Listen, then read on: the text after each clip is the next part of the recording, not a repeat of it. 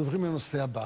שלום לפרופסור עידו שולט, מנהל היחידה לרפואת האם והעובר במרכז הרפואי רמב"ם. שלום.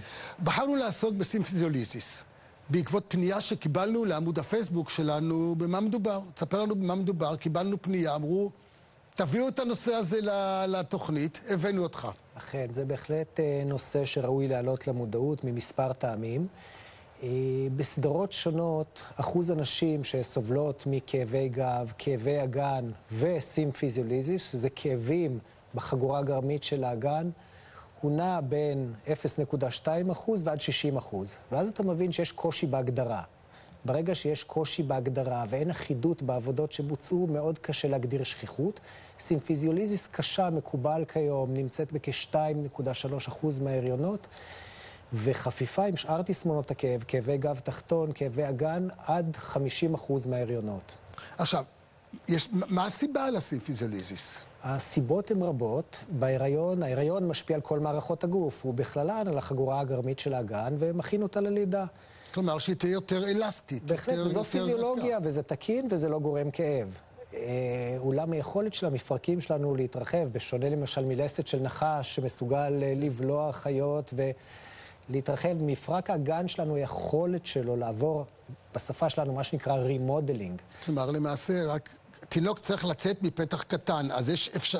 מה שקורה זה שכל הגוף מכין את האגן להיפתח כדי שהראש של התינוק והגוף יוכלו לצאת. בהחלט, וזאת על ידי מספר הורמונים למשל, בכללם רילקסין, שמשפיע על רקמות החיבור, על הקולגן, משפיע על ייצור הקולגן ועל סוגי הקולגן, עושה לו remodeling בשפה שלנו, ובעצם מכין את, ה, את האגן ללידה, לתהליך של מעבר התינוק בו. במידה והתהליך הופך מפיזיולוגי לפתולוגי, מקובל שהרחבה מעל 1 סנטימטר מתחילים גם כאבים, לפעמים כאבים קשים ביותר. הסימפטומטולוגיה היא מאוד רחבה, מקושי בישיבה, קושי בשכיבה, בשינוי תנוחה, בעליית מדרגות. נשים מתארות שבשינה הן מתעוררות מכאב בזמן שינוי תנוחה. אה, יש לזה טיפול? אז כמובן ניסו הכל. נתחיל ממנוחה. אה, אצלנו במקצוע אומרים bed rest is a bed rest, ב-E וב-A בהתאמה. כן, כלומר, אה, מנוחה במיטה זאת, זאת עצה רעה. עצה רעה. ובוצעו עבודות רבות שבדקו את שני הצדדים, האם מנוחה עוזרת והאם עבודה, אה, האם אה, פעילות גופנית מתונה עוזרת. והתוצאות הן לא חד, משמו, לא חד משמעותיות לשני הצדדים. יצאה מטה-אנליזה לאחרונה, לפני שנה, שסיכמה את כלל המחקרים שבוצעו בנושא, והראו דווקא שפעילות גופנית מתונה מקלה על כאבי גב בהיריון, לא הוכח כי היא מקלה על כאבים בסימפיזיס פוביס. עם זאת, אנחנו נוטים לרשום מנוחה, ואני אגלה לך סוד, כי אין לנו משהו יותר טוב. משהו יותר יעיל. כן. יש כמובן את הטיפולי, יש פיזיותרפיה, יש טיפולי רפואה משלימה, ויש טיפולים תרופתיים. יש לנו בעיה עם הטיפול התרופתי בהיריון. היות ומדובר בהיריון, ומדובר בעובר, בקרב הקהילה הרפואית יש פחד, אה, הייתי מגדיר אותו אפילו קמאי מהיריון, עד כדי כך. אנחנו התגייסנו לנושא הזה וכתבנו נייר עמדה של שלושה איגודים, האיגוד לגינקולוגיה ומיילדות, האיגוד לרפואת כאב והאיגוד לפרמקולוגיה קלינית, ביחד שינסנו מותניים, היות והבעיה של טיפול בכאב בלידה נפתרה. יש לנו אפידורל, יש לנו טיפולים מצוינים לכאב בלידה. כשאתה עושה מדליין על טיפולים בכאב בלידה, אתה מקבל 600 אלף מאמרים. כשאתה עושה טיפולים בכאב בהיריון, אתה מקבל 20 אלף מאמרים. סדר גודל פחות. הידע פחות, ויש פחד מאוד גדול גם באוכלוסיית הרופאים, ולכן נשים לא מטופלות וסובלות.